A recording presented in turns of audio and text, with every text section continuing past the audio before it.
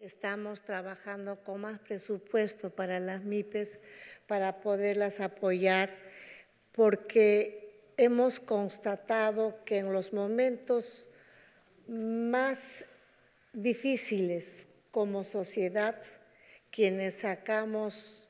el puño en alto, el punche, como nosotros le llamamos, el punche, el punche, bracito arriba, somos las mujeres.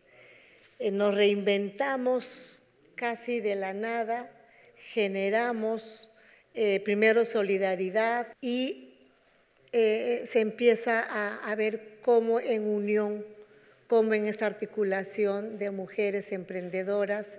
podemos generar oportunidades de las dificultades. Desde el gobierno mi compromiso es seguir apoyando con más ímpetu a las mujeres.